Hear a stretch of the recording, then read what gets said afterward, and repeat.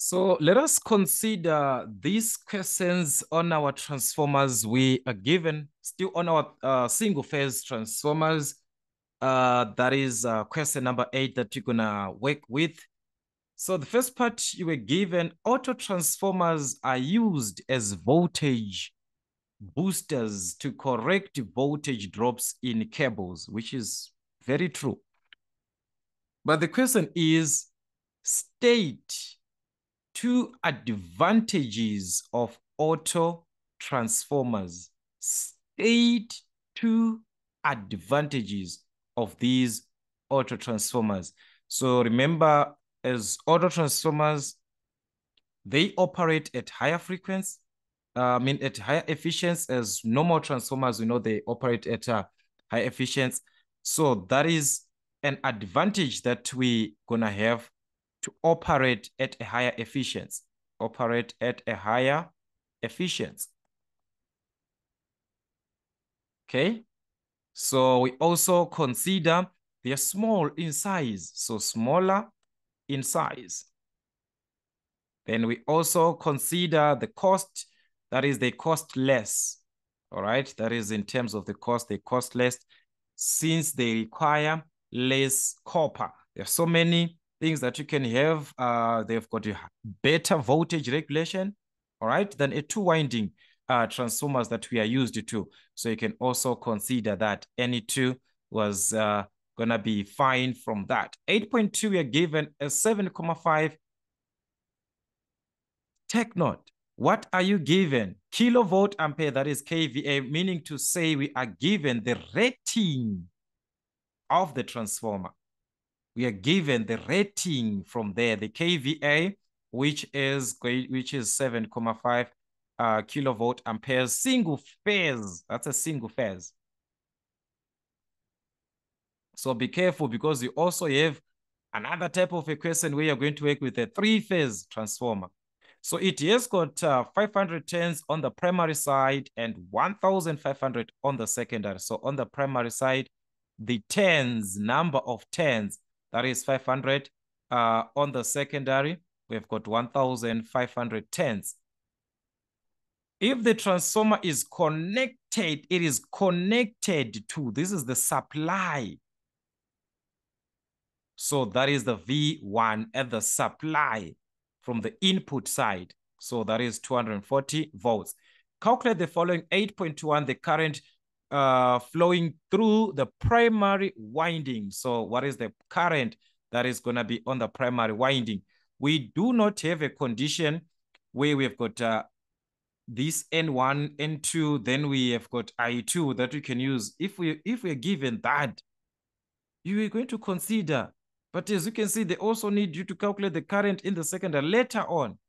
So we cannot use this relationship that we consider in terms of the voltage, V1 over V2 is equal to N1 over N2, which is equal to I2 over I1. Remember, I talked about this relationship. We do not have I2. So we can't calculate I1. So meaning say this formula for now is limited. Does not mean this formula is wrong. No, the formula is correct, but it's limited to the information that we're given. So what can we consider all right, there is a rating. Remember, I talked about the rating that we can calculate this rating of the transformer, which is the kVA rating that we can uh, have from the voltage times current. So if you consider the primary is going to be V1, I1, in the primary. If it is the secondary, it's going to be V2, I2 in the secondary. But in this case, we are dealing with the primary. So in this case, instead of me just using this, I'm just going to write VA. Uh, so we need current, so just going to divide by V1 by V1. So that means we can calculate our current from the volt ampere that we are given. Uh, that is 7,5 times 10 to the power of 3 divided to the voltage that you are given in the primary of 240. So you must be very careful on the formula that you are going to work with. So that was going to give us 31.25 amps.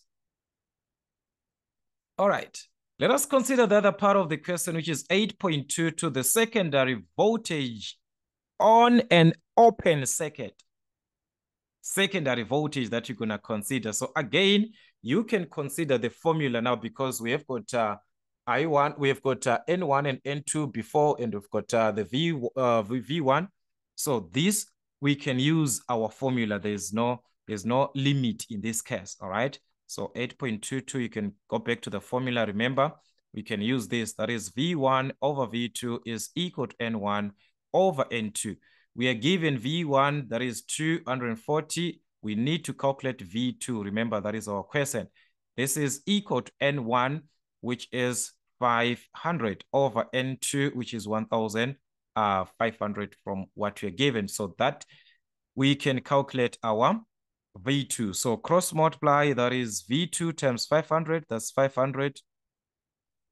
V2, then 1,500 is going to multiply uh, 240. So dividing by 500 both sides, you are going to obtain uh, the value of V2. That is 240 times this over 500. This was going to give you uh, 720 volts.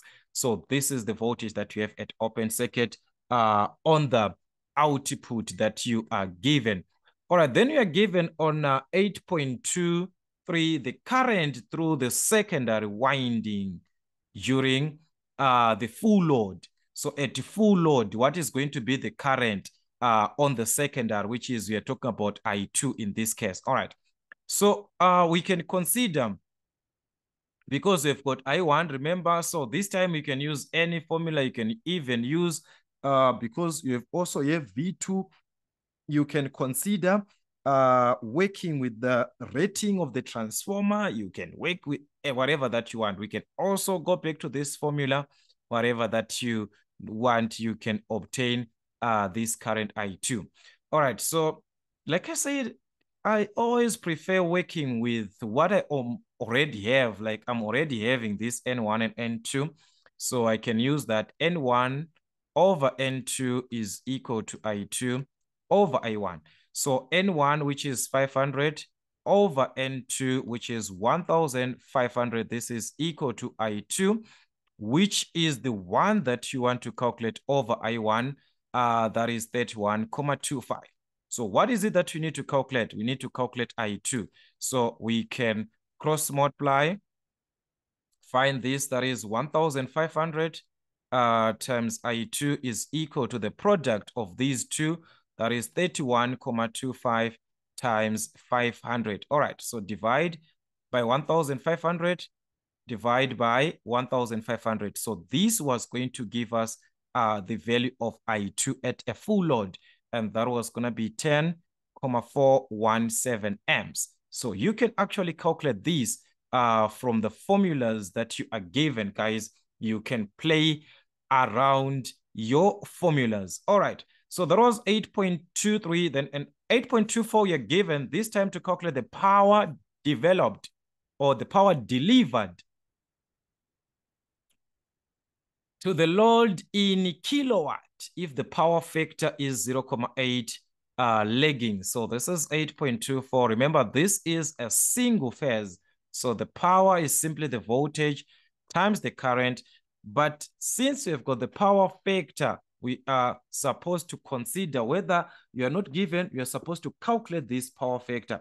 You need uh, the power factor in this case to have the kilowatt power that you're given at a power factor that is leggy. So this is what you're going to consider. This is a single phase uh, on a three phase, meaning to say we must consider the square root of three when calculating the true power. So the question is, what are we have? Are we having these voltages on the secondary uh, side, or you can even work with V1 and V2. Remember, guys, this even here, it represents this KVA. You can even use this one, the KVA. You can use it S, S times cos theta. Guys, whatever that you want. There are so many ways that you can actually attempt this. So in this case, uh, the question is, um, we're just gonna substitute. We've got everything, the voltage, uh, so like I said, it's gonna depend if you're using V2. Uh, V2 is one that we calculated. It was uh 720. Okay, but we calculated this. Uh, but uh, in this case, I just have I2. So V2, but we calculated this, that was 720. Then I2, we got this, it was 10,417 times the cost of theta. That is your power factor in that case. So you're given uh, the power factor in this case at a power factor of what? At a power factor of uh, 0 0.8 lagging. So you have got the power factor of uh, 0 0.8. So this gives us the power, but to convert this to a kilowatt, just like any other part, you're going to divide by 1000. So the moment that you divide by 1000, you're obtaining your answer in kilowatt. So this was going to be 6,000 and so on. So this is approximately uh, 6 kilowatt. So you are obtaining uh, the exact power. Like I said, you can also use that uh, value that you already have for S. Remember, voltage times current, it is giving us uh, the apparent is the rating of the transformer. So you can also work with the rating of the transformer already. You have got the rating of the transformer in kilo. So it's going to be 7,5 uh, times the cos uh, theta, which is 0 0.8. So this can also give us uh, the same value that we are given. And remember that this value is in kilo, kilo, kilovolt ampere. So meaning to say you are obtaining the power in that case in what? In kilowatt. So you're going to obtain six already. It is in kilo units. So meaning to say it is in kilowatts. So these are the typical questions. Know how to use your formulas. Like I said, you can also use the V1, I1, the cos of theta. This is the same as the S that you're given. These are your typical questions. More questions of this nature from Math Zone African Motives till we meet again.